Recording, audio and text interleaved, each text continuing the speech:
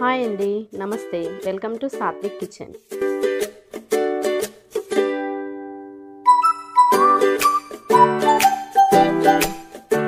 ఈరోజు మనం చేసుకోబోయే రెసిపీ అండి పెసరపప్పు పప్పుచారు అండి చాలా టేస్ట్గా ఉంటుందండి. ఈ వేసవకాలంలో ఇవి ఎంతో సెలవు చేస్తూ ఉంటాయి.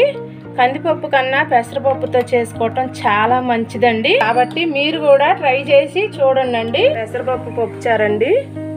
దానికి కావాల్సినటువంటి పదార్థాలు చూసుకుందాం. ఒక పావు కేజీ టమాటా తీసుకున్నానండి. ఒక ఏడెనిమిది పచ్చిమిర్చి తీసుకున్నాను. ఒక మూడు ఉల్లిగడ్డలు తీసుకున్నానండి. ఒక కప్పు కొత్తిమీర తీసుకున్నాను. ఈ గ్లాస్తో పెసరపప్పు తీసుకున్నానండి. ఈ గ్లాస్తో ఇప్పుడు మనం తయారు చేసుకునే విధానం చూద్దాం.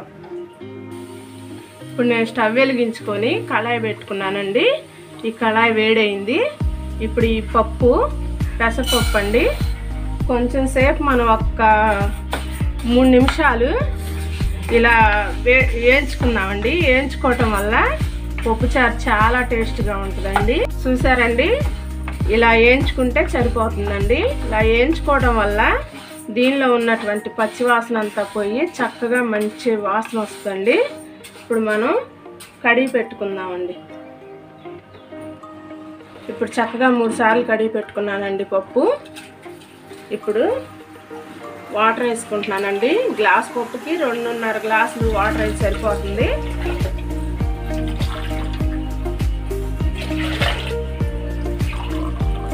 పెసరపప్పు కాబట్టి అండి తొందరగా ఉడికిపోతుంది ఇప్పుడు స్టవ్ వెలిగించుకొని కుక్కర్ పెట్టుకొని ఒక మూడు విజిల్స్ రానిస్తానండి సరిపోతుంది. దీనిలో కొంచెం ఆయిల్ వేస్తున్నానండి. మూత పెట్టుకున్నానండి. ఇప్పుడు మూడు విజిల్స్ రానిద్దాం. ఇప్పుడు స్టవ్ వెలిగించుకొని గిన్నె పెట్టుకున్నానండి. పప్పు ఉడికే లోపల మనం చారు తయారు చేసుకున్నాము. ఒక మూడు స్పూన్లు ఆయిల్ వేసుకుంటున్నానండి. ఒక రెండు ఎండుమిర్చి వేసుకుంటున్నానండి. జీలకర్ర ఒక స్పూన్ వేసుకుంటున్నానండి. పోపు దినుసులు ఒక స్పూను. ఉల్లిపాయ అండి ఉల్లిపాయ వేసుకుంటున్నాను.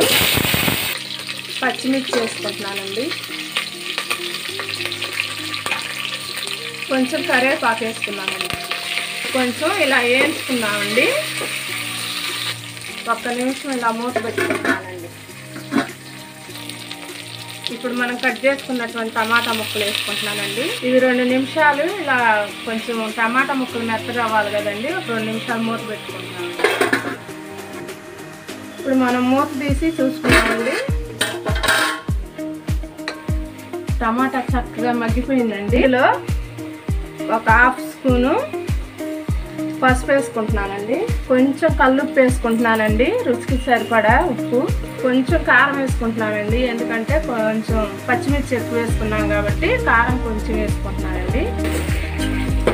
ఇప్పుడు ఇలా తిప్పుకొని నేను నిమ్మకాయ అంత సైజులో చింతపండు రసం తీసుకున్నానండి. నానబెట్టుకొని ముందుగానే ఇప్పుడు ఈ పులుసు ఇందులో పోసేసానండి. హాఫ్ లీటర్ దాకా వాటర్ పోస్తున్నానండి.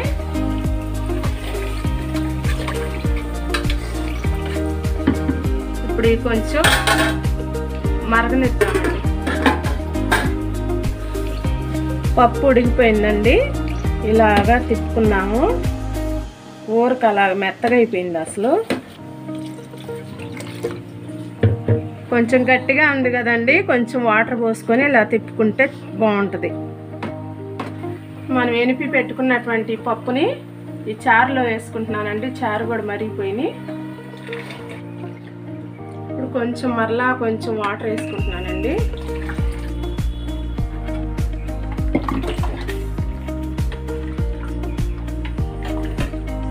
ఇప్పుడు ఒక ఐదు నిమిషాలు మరిగించుకుందామండి. ఇలా బాగా మరిగించుకోవాలండి.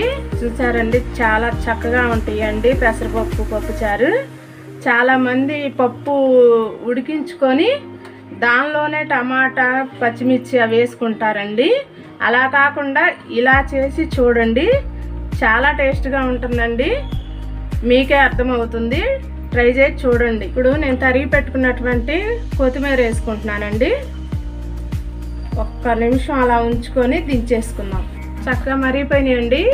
ఇప్పుడు మనం స్టవ్ ఆఫ్ చేసుకుంటున్నానండి. నేను ఒక బౌల్లో తీసుకున్నానండి. ఈ పప్పుచారులు అండి అప్పడం కానీ వడియాలు కానీ ఉప్పు చేప కానీ చాలా బాగుంటుందండి. మీరు కూడా ట్రై చేసి చూడండి. చూశారు కదండి ఈ వీడియో మీకు నచ్చినట్లయితే లైక్ చేయండి షేర్ చేయండి. మరిన్ని మా వీడియోస్ కోసం మా ఛానల్ని సబ్స్క్రైబ్ చేసుకొని పక్కనే ఉన్న బెల్ ఐకాన్ని క్లిక్ చేయండి. Thank you for watching.